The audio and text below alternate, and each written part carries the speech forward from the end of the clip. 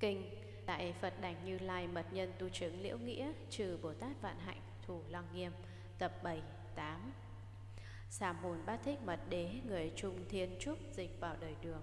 Sa môn di giả thích ca Người nước ô trành dịch ngữ. Sa môn hoài địch Chùa Nam Lâu Núi La Phủ chứng minh bản dịch.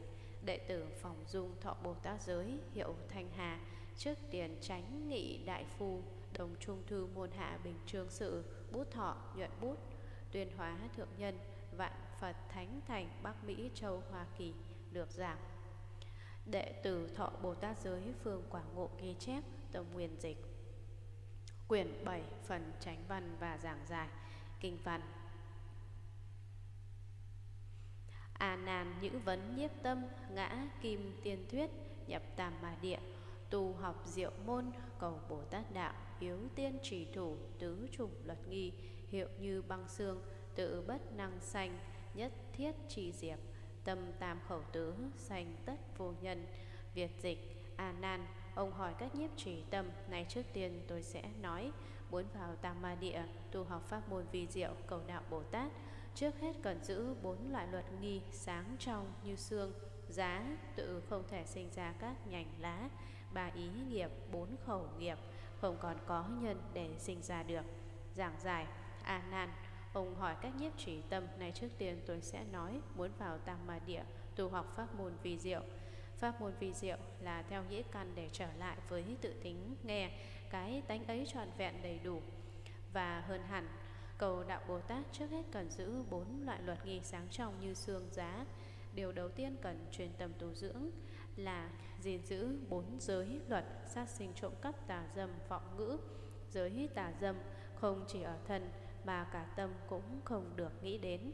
Quý vị phải loại trừ cả hai mới thoát được trần lao đáng chán này. Nếu như không loại trừ, đi lòng khát khao ham muốn, ắt không dứt được trần cấu. Đối với sự giết hại mạng, trộm cắp nói dối cũng vậy. Đây là bốn giới luật rất quan trọng, quý vị phải trở nên trong sáng như xương như giá, phải hoàn toàn sáng trắng, không một chút mợn nhơ trên nền trắng sáng ấy. Được vậy mới thật là tự nhiên trọn vẹn Tự không thể sinh ra các nhành lá. Hoàn toàn thanh thoát Quý vị sẽ đạt đến bản nguyên căn Để ba ý nghiệp bốn khẩu nghiệp Không còn có nhân để sinh ra được. Cả ba mối tham sân si Đều khỏi sinh từ tâm Cùng bốn khẩu nghiệp là vọng ngôn ỷ ngữ, Lưỡng thiệt, ác khẩu. Những điều đó sẽ không còn điều kiện Và nguyên nhân để sinh khởi. Bởi vì quý vị đã thật sự giữ gìn bốn giới và hạnh thành tịnh sẽ không còn thay đổi. Kinh văn. A Nan. Như thị tứ sự nhược bất di thất, Tầm nhược bất duyên, Sắc hương vị xúc, Nhất thiết mà sự vân hà phát sinh. Việt dịch A Nan Nếu giữ được bốn sự như vậy Không thiếu sót tâm ông cũng không còn duyên với sắc hương vị xúc Thì ma sự làm sao phát sinh ra được Giảng giải nếu ông không còn đuổi theo ràng buộc với sắc hương vị xúc, không còn vướng vào những điều kiện đó thì mầm mống ma sự sẽ biến mất, vậy chúng đâu còn sinh khỏi. Kinh văn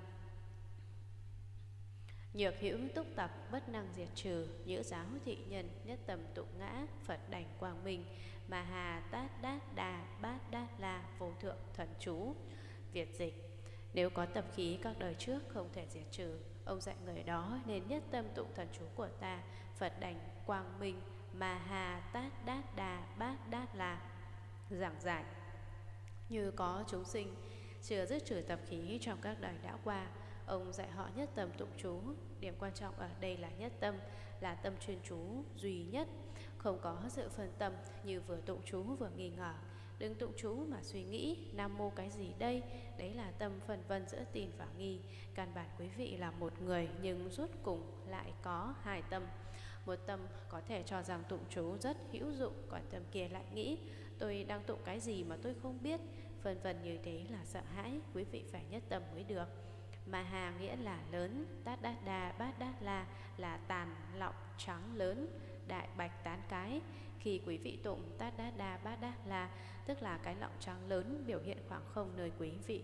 Nếu có niềm tin sâu xa và cao cả Khi tụng câu chú này, Tàn lọng sẽ che dọc đến mấy ngàn dặm, Còn như quá ít ỏi, Sức che của lọng chỉ riêng có một mình quý vị.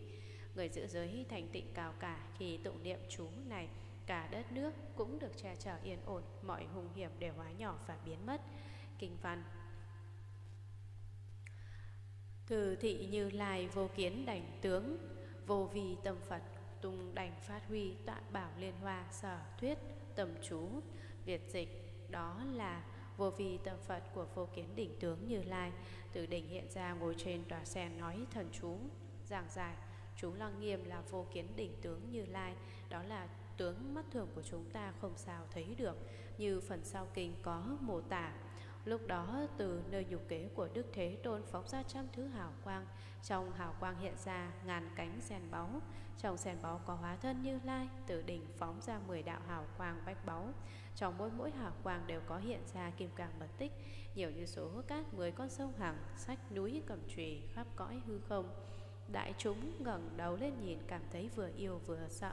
Cầu Phật che chở một lòng lắng nghe Đức phóng quang như lai Từ vô kiến đỉnh tướng của Phật nói thần chú. Tôi biết đây là đoạn văn thuộc tâm, Tôi không bao giờ quên. Đó là vô vi tâm Phật từ đỉnh hiện ra ngồi trên hoa sen nói thần chú.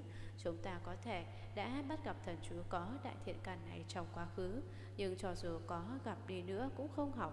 Học rất khó nhớ, Đó là lý do tại sao tôi kiểm tra chú lăng nghiêm nơi quý vị. Kinh văn. Thả nhữ túc thế giữ ma đăng giả Lịch kiếp nhân duyên ân ái tập khí Phi thị nhất sanh Cập giữ nhất kiếp Ngã nhất tuyên dương ái tâm vĩnh thoát Thành A-la-hán Việt dịch và lại ông cùng nàng ma đăng già do nhân duyên đã trải qua nhiều kiếp thành tập khí ân ái, không phải một đời hay là một kiếp. Nhưng ngay khi ta tuyên dương thần chú thì nàng ma đăng già liền thoát hẳn lòng yêu thành quả A-la-hán. Giảng giải và lại ông cùng nàng ma đăng già do nhân duyên đã trải qua nhiều kiếp. Trong quá khứ ông đã lấy nàng ấy 500 lần. Thành tập khí ân ái không phải một đời hay là một kiếp. Ông có hai điều sâu nặng là tập khí và lòng yêu mến. Đấy không phải là một lần, không phải là một đời hay là một kiếp Mà nó trải qua một thời gian dài rất lâu dài.